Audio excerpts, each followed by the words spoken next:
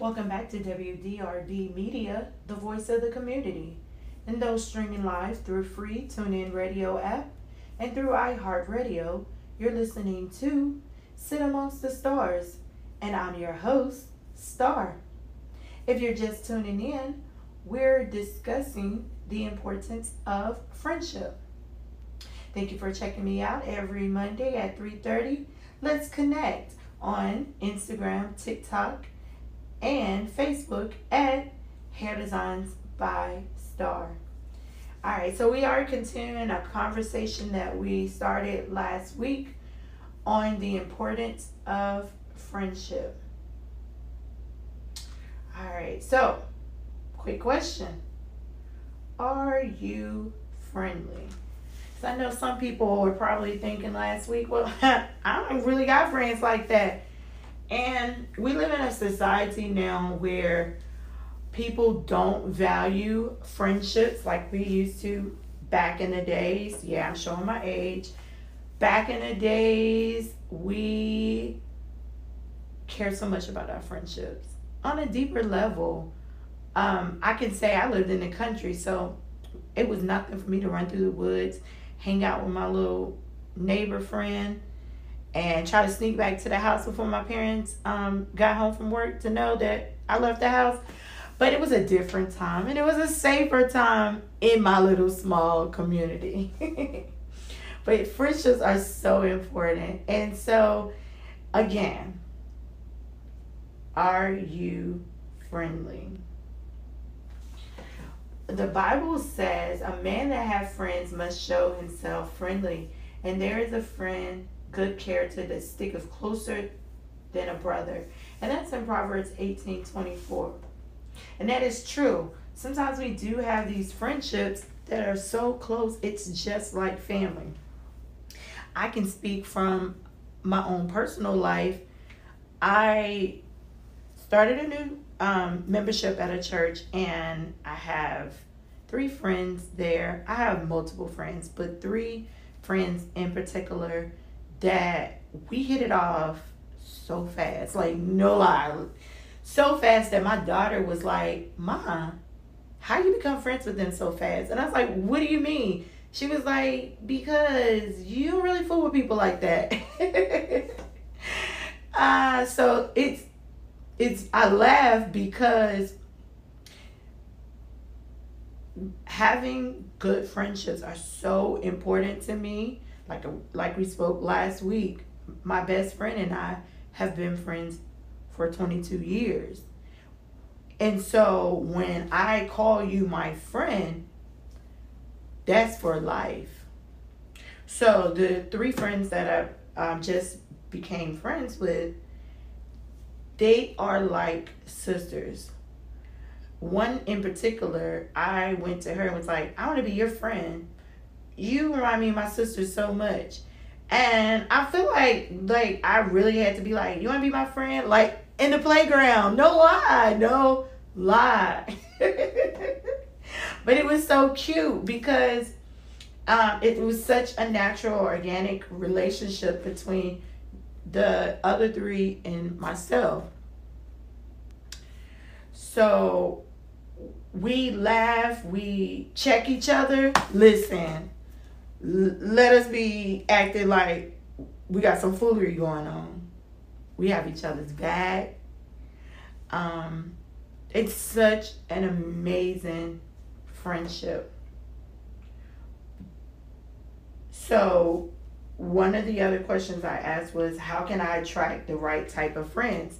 So, going back to what I said, I saw something in this person that I wanted to get to know more I wanted to have her in my corner, in my circle. So I simply went up to her, like we did back in the days on the playground, and asked her to be my friend.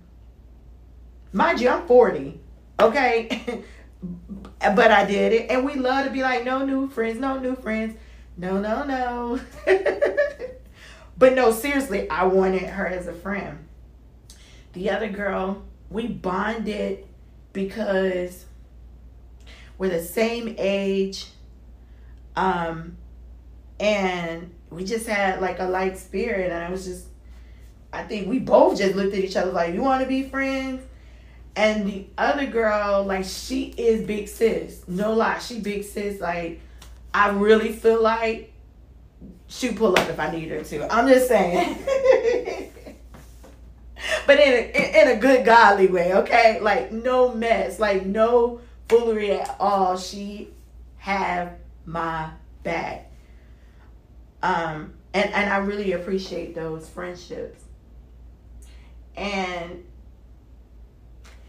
having real friendships like that is very important because you will see some change within. For me, I'm a single parent, and being that I'm a single parent, I'm not as soft as I was before becoming a parent. I lost some of my um, feminine ways because the world is so rough. And I'm raising boys and girls, and I'm like, listen, this is what happens out here, this, that, and and so having female friends is helping me to knock some of that edge off. Allow me to soften up. Be more girly. And i appreciate that. Because i had lost that girliness. Yeah, I'm a boss, and yeah, you know, I like my heels, and no, I don't really wear makeup. Well, you know, I put a little lip on, okay, and I'll throw a lash on here and there, but I'm not really like a makeup type of girl. So I don't mean girly in that sense. I just mean being around other females, I'm regaining who I was before all of the things that I've experienced that caused me to be hardened. So, one of the advantages of having good friends is where two or three are gathered in my name, there I am within them. Listen you and your friends can get together and pray and intercede on each other's behalf. You can encourage each other. You can speak life to a situation. It's so amazing. It's so needed. So if you find yourself not having friends, I want you to take a moment, search yourself, try to figure out why you're not attracting friendships. Figure out if you're showing yourself in a friendly manner. Are you approachable? Are you kind? Are you considerate? Are you welcoming? Do you appear standoffish? Identify those things. And if you still don't understand why, pray and ask God why. Once you identify why, then you can do small steps to either correct those things um, that you find out about yourself, like un- like you're not welcoming or you stand off or whatever those you know areas may be. So you correct those things um, and you can also simply do what i did and identify people around you that have a light in them that you would love to have in your inner circle and ask them, hey, would you like to be my friend? No lie, it works. No, I'm telling you, it works. So, because there are some advantages of having good friends. And I want each and every one of you to experience that. I want you to experience it. All right. Thank you, uh, everybody, for tuning in. Join us next week as we begin another conversation on a different topic.